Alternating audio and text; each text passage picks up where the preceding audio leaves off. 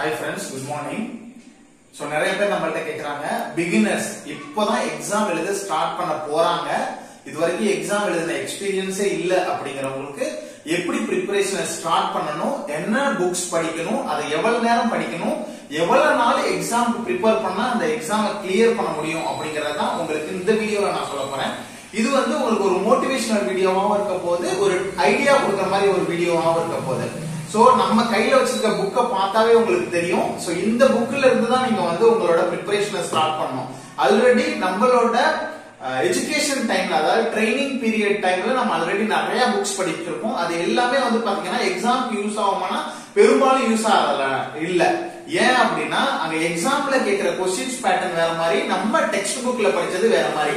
So அதுக்கு நீங்க என்ன பண்ணணும் அப்படின்னா இந்த புக்ஸ்ல இருந்து நீங்க ப்ரிப்பரேஷனை ஸ்டார்ட் பண்ணணும். புக்ஸ் இல்லாம ப்ரிப்பரேஷனை ஸ்டார்ட் பண்ண முடியுமா? உங்களோட கோல்டு கொஸ்டின் பேப்பரையும் கோல்டன் பாயிண்ட்ஸையும் இல்ல யூடியூப்ல வர வீடியோஸையும் வந்து எக்ஸாம் வச்சு கிளியர் பண்ண முடியுமா அப்படின்னா கண்டிப்பா முடியவே முடியாது. கண்டிப்பா நீங்க எக்ஸாமுக்கு கிளியர் எக்ஸாம் கிளியர் பண்ணணும் அப்படின்னா ஒரு ரெண்டு மூணு புக்ஸ் கண்டிப்பா படிச்சு தான் ஆகணும். சிம்பிளா சொல்ல போனோம் அப்படின்னா இதுல வந்து ஒரே ஒரு டெக்னிக் நிறைய நாலேஜ் இருந்தா ஈஸியா எக்ஸாம் கிளியர் பண்ணலாம். நிறைய நாலேஜ் நமக்கு எப்போ வரும் அப்படின்னா நிறைய புக்ஸ் படிச்சோம் அப்படின்னா தான் நமக்கு நிறைய நாலேஜ் வரும். சோ இந்த டெக்னிக்கை வச்சு தான் நம்ம இந்த எக்ஸாமை கிளியர் பண்ண போறோம். சோ இந்த புக்கை ஃபர்ஸ்ட் நான் எதுக்கு படிக்கணும் அப்படின்னு சொல்றேன்னா இதுல வந்து உங்களுக்கு பின்னாடி வந்து பாத்தீங்கன்னா உங்களுக்கு நிறைய கொஸ்டின் பேப்பர் இருக்கு. சோ முதல்ல நம்ம எக்ஸாம் எழுதுறதுக்கு முன்னாடி பேசிக்கா நம்ம புக்ல கதை கதையா கதை கதையா டெக்ஸ்ட படிச்சுட்டு அதாவது அனாட்டமி பிசியாலஜி என்ன ஃபண்டமெண்டல் ஆஃப் நர்சிங்னா என்ன அதுல என்னென்ன இருக்கு மெடிசர்ஜரியில என்னென்ன இருக்கு pathophysiology science and symptom இது எல்லாத்தையும் கதை கதையா கதை கதையா படிக்காம எக்ஸாம் பேட்டர்னுக்கு எப்படி கொஸ்டின்ஸ் வரும் அப்படின்ட்டு முதல்ல ஒரு ஐடியா உங்களுக்கு வரணும். சோ அது வந்து எப்போ வரும் அப்படின்னா ஓல்டு கொஸ்டின் பேப்பர் பார்த்தா மட்டும்தான் வரும். அந்த ஓல்டு கொஸ்டின் பேப்பரை ஆல் ஓவர் இந்தியால இருந்து வந்து state government central government exam அது ஜிப்மரா இருக்கட்டும் எய்ம்ஸா இருக்கட்டும் டிஎஸ்எஸ்பி இஎஸ்ஐசி ஆர்பி இதோட எல்லா கொஸ்டின் பேப்பரும் நம்மளோட சேனல்ல பிளேலிஸ்ட்ல ஓல்டு கொஸ்டின் பேப்பர்னே ஒரு நூத்தி முப்பத்தஞ்சு வீடியோ போட்டிருக்கோம். அதை கண்டிப்பா பாருங்க. அதை பார்த்து எது தேவையோ கண்டிப்பா நோட்ஸ் எடுத்து வச்சுக்கோங்க. நீங்க நோட்ஸ் எடுக்கல அப்படின்னா அது படிச்சு பிரயோஜனம் இல்லை.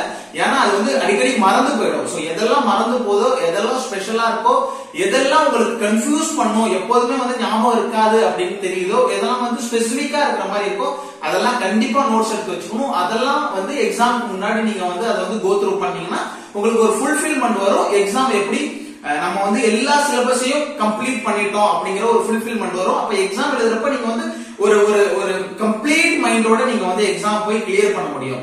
சோ இந்த புக்லயும் உங்களுக்கு இதே மாதிரி ஓல்டு கொஸ்டின் பேப்பர் அதை பார்த்து முடிச்சுட்டு இதுல உள்ள ஓல்டு கொஸ்டின் பேப்பர் நிறைய இருக்கு. அதையும் பாருங்க. இதை தவிர இதை வந்து ஏன் படிக்கணும்னு சொல்றேன்னா இதுல வந்து உங்களுக்கு கொஸ்டின்ஸ் பேட்டர்ன் வந்து ரொம்ப சிம்பிளா இருக்கும். ரொம்ப காம்ப்ளிகேட்டடா இருக்காது. இதை தவிர ஒரு ரெண்டு மூணு புக்ஸ் இருக்கு. சோ என்க்ளெக்ஸ் புக் இருக்கு Saunders and Mosby so then B B R Yadav இருக்கு. இந்த மாதிரி ஒரு ரெண்டு மூணு புக்ஸ் இருக்கு. அந்த புக்ஸ் எல்லாம் எப்படி கோத்ரூ பண்ணும் பண்ணணும் அதெல்லாம் எப்படி ப்ரிப்பரேஷன் ஸ்டார்ட் பண்ணணும் அப்படிங்கறத அடுத்தடுத்த வீடியோல சொல்றேன். சோ இந்த புக்ல உங்களுக்கு கொஸ்டின் பேட்டர்ன் வந்து பாத்தீங்கன்னா எப்போதுமே வந்து ரொம்ப சிம்பிளா இருக்கும் ரொம்ப காம்ப்ளிகேட்டடா இருக்காது. சோ இதுல இருந்து நீங்க ஸ்டார்ட் பண்ணீங்க அப்படின்னா பேசிக் ஒரு ஃபவுண்டேஷன் உங்களுக்கு வந்து நர்சிங் நர்சிங் கொஸ்டின் சோ நர்சிங்ல எப்படி கொஸ்டின் கேட்பாங்க அப்படிங்கிற ஒரு ஃபவுண்டேஷன் உங்களுக்கு கிடைச்சிடும் இத வச்சு இதுல உங்களுக்கு ஏதாவது டவுட் இருக்கு. சோ ஒரு கொஸ்டின் எடுக்கிறோம் அப்படின்னா அந்த கொஸ்டின் ரிலேட்டடா வேற ஏதாவது கொஸ்டின் எடுக்க முடியுமா? இப்போ ஒரு எளிமான ஒரு கொஸ்டின் எடுக்கிறோம் அப்படின்னா அதுல வந்து அடல்ட்டுக்கு எவ்வளவு சில்ட்ரன்ஸ்க்கு எவ்வளவு அடலோசன்ட்க்கு எவ்வளவு அப்படின்னு இன்ஃபான்ட்க்கு எவ்வளவு அப்படின்னு ஒரு அளவு இருக்கு. சோ அந்த அளவு வந்து ஒரு கொஸ்டின்ல கேட்டிருக்காங்க. இன்ஃபான்ட்க்கு இவ்வளவு அளவு வரைக்கும் உங்களுக்கு எனிமா கொடுக்க முடியும் அப்படின்னு ஒரு கொஸ்டின் கேட்டிருக்காங்க அப்படின்னா அதை பேஸ் பண்ணி நம்ம வந்து அடுத்த கொஸ்டின்ஸ் ஓகே இதுல வந்து சில்ட்ரன்ஸ்க்கு இவ்வளவு வரலும் கொடுக்கலாம். அடல்ட்டுக்கு இதோட இவ்வளவு வரைக்கும் கொடுக்கலாம் அப்படின்னு கொஸ்டின் கேட்கறதுக்கான சான்சஸ் இருக்கு அப்படின்னு நினைச்சுக்கிட்டு நீங்களே வந்து கொஸ்டின்ஸை வந்து கிரியேட் பண்ணி நீங்க படிக்க ஆரம்பிச்சிடணும். சோ இதை தவிர ஓல்டு கொஸ்டின் பேப்பரை தவிர இதுல வந்து நிறைய ஒவ்வொரு டாபிக்கும் நிறைய கொஸ்டின்ஸ் இருக்கு. அதை போய் பார்க்கலாம். அந்த கொஸ்டின் பாக்குறப்பயே உங்களுக்கு வேற ஏதாவது டவுட் இருந்ததுன்னா இந்த புக்லயே உங்களுக்கு அந்த ஆன்சர்ஸ் கிடைச்சது. சோ அது ரிலேட்டடா உங்களுக்கு டாபிக் ரிலேட்டடா கிடைச்சது அப்படின்னா இதுலயே நீங்க பார்க்கலாம். இதை தவிர இதுல வந்து பாத்தீங்கன்னா இமேஜ் பேஸ்ட் கொஸ்டின் இப்போ உள்ள எல்லா கொஸ்டின்லுமே எல்லா எக்ஸாம்லயும் வந்து இமேஜ் பேஸ்ட் கொஸ்டின் ஏழுல இருந்து எட்டு கொஸ்டின்ஸ் வரலும் கேட்டிருக்காங்க. இதுல உள்ள இமேஜ் பேஸ்ட் கொஸ்டின்ஸ் நீங்க பாத்தீங்கன்னாவே கம்ப்ளீட்டா ஏழு எட்டு கொஸ்டின்ஸையும் உங்களால அட்டன் பண்ண முடியும்.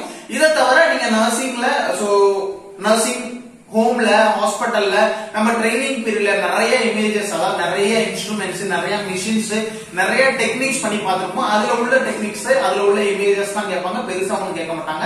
ஸோ இதை கம்ப்ளீட் பண்ணிட்டு அதையும் நமக்கு நாலேஜ் எக்ஸ்ட்ரா இருக்கிறதுனால அதையும் நீங்க படிச்சீங்க படிச்சிருந்தீங்க அப்படின்னா கண்டிப்பா உங்களால அந்த இமேஜ் பேஸ்ட் கொஸ்டின்ஸ் வந்து கம்ப்ளீட் பண்ண முடியும். இதை தவிர இதுல வந்து உங்களுக்கு பாத்தீங்கன்னா ரொம்ப சிம்பிளா எல்லா டாபிக்ல இருந்து ரொம்ப சிம்பிளா கொடுத்திருக்காங்க. தென் உங்களுக்கு வந்து என்ன கொடுத்துருக்காங்கன்னா எக்ஸாம் எப்படி அட்டன் பண்ணணும் வேற என்னென்ன டெக்னிக்ஸ் இருக்கு அப்படிங்கறது வந்து டாபிக் வைஸா இதை வந்து நீங்க படிக்கலாம். இது ரொம்ப சிம்பிளா உங்களுக்கு இருக்கிறதுனால படிக்கிறதுல எந்த டிஸ்டர்பன்ஸும் இருக்காது. இதுல லேட்டஸ்ட் புக் வாங்கி படிங்க. ஏன்னா அதுதான் அப்டேட்டடா இருக்கும். ஏதாவது மிஸ்டேக் இருந்தா கூட அதை கரெக்ட் பண்ணி அதுல போட்டிருப்பாங்க.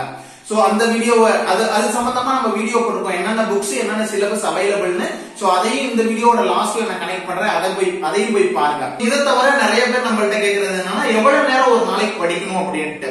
சோ நீங்க நாலேஜ் எந்த அளவுக்கு இம்ப்ரூவ் பண்ணிக்கிறீங்களோ அந்த அளவுக்கு உங்களுக்கு சான்சஸ் இருக்கு. நாலேஜ் எப்படி இம்ப்ரூவ் ஆகும்னா நிறைய புக்ஸ் படிக்கணும். நிறைய புக்ஸ் எப்படி படிக்கணும்னா நிறைய நேரம் படிக்கணும்.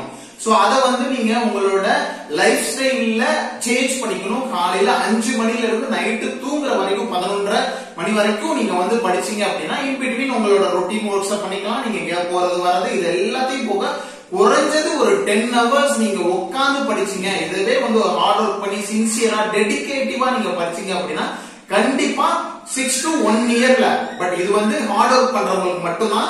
நிறைய பேர் த்ரீ இயர்ஸ் கூட ப்ரிப்பரேஷன் பண்றாங்க. அப்படி ப்ரிப்பேர் பண்றவங்களுக்கு என்ன மிஸ்டேக் அப்படின்னா அவங்களோட ப்ரிப்பரேஷனை நம்ம கொஞ்சம் ஸ்ட்ராங் பண்ணணும்னு அர்த்தம். சோ நீங்க ஒரு வருஷத்துல எக்ஸாம் கிளியர் பண்ணணும் சிக்ஸ் மந்த்ஸ்க்குள்ள கிளியர் பண்ணணும்னு முடிவு பண்ணீங்க அப்படின்னா நாளை அஞ்சு மணில இருந்து நைட்டு பதினொன்றரை மணி வரைக்கும் மேக்சிமம் அவர்ஸ் நீங்க யூட்டிலைஸ் பண்ணுங்க. அது வந்து நீங்க எங்க போனாலும் சரி எங்க இருந்தாலும் சரி என்ன பண்ணிக்கிட்டு இருந்தாலும் சரி ஆல்வேஸ் உங்களோட ஸ்டடி மைண்ட் இருந்தது அப்படின்னா இந்த எக்ஸாம் ஈஸியா சிக்ஸ் மந்த்ஸ்ல இருந்து ஒன் இயர் வரைக்கும் க்ளோஸ் பண்ண கிளியர் பண்ணிடலாம். சோ புக்ஸ் வந்து அடுத்தடுத்த என்னென்ன புக்ஸ் படிக்கணும் என்கிளெக்ஸ் சவுண்டர்ஸ் அண்ட் மோஸ்ட்லி எப்படி கிளியர் பண்ணணும் நான் டெக்னிக்கல் சோ அதாவது நர்சிங் இல்லாம அதர் டெக்னிக்கல் புக்ஸ் இருக்கு இல்லையா? அந்த maths English general knowledge awareness இதெல்லாம் வந்து ஒரு ரெண்டு மூணு புக்ஸ் இருக்கு. அந்த புக்ஸையும் நான் வந்து இந்த மாதிரி ஒரு புக்கா எடுத்து உங்களுக்கு அதுல என்னென்ன பாசிபிலிட்டிஸ் இருக்கு படிக்கிறதுக்கு என்னென்ன படிக்கிறதுக்கு இருக்கு அப்படிங்கறத நான் அடுத்தடுத்த வீடியோ சொல்றேன். சோ அதுவும் உங்களுக்கு ரொம்ப யூஸ்ஃபுல்லா இருக்கும். நமக்கு ரொம்ப சந்தோஷமா இருக்கு. வருங்காலங்கள்ல நிறைய நர்சிங் ஆபீசர் நம்ம தமிழ்நாட்டுல இருந்து உருவாக போறாங்க. நிறைய பேர் லாஸ்ட் மினிட் தான் லாஸ்ட் ஃபோர் எக்ஸாம் எழுதிருக்காங்க நமக்கு ரொம்ப சந்தோஷமா இருக்கு. நம்ம சேனல்ல கிட்டத்தட்ட எயிட்டீன் தௌசண்ட் பதினெட்டாயிரம் பேர் ஃபாலோ பண்றாங்க. இந்த டைம் நிறைய பேர் எக்ஸாம் எழுதிருக்காங்க ரொம்ப சந்தோஷம். இன்னும் நிறைய பேர் எழுதணும். நீங்க இருக்க குரூப் உங்களோட நீங்க உங்களோட நர்சிங் ஸ்டூடெண்ட்ஸ் சோ யாரெல்லாம் நர்சிங் முடிச்சுட்டு எக்ஸாம் ப்ரிப்பேர் பண்ணிட்டு இருக்காங்களோ அவங்களுக்குலாம் அந்த வீடியோ ஷேர் பண்ணுங்க. சோ தட் அவங்களும் நம்ம வீடியோவை ஃபாலோ பண்றப்ப ஈஸியா எக்ஸாம் கிளியர் பண்ண முடியும். Wish you all the best வேற ஏதாவது டவுட் இருந்தா கமெண்ட் செக்ஷன்ல சொல்லுங்க.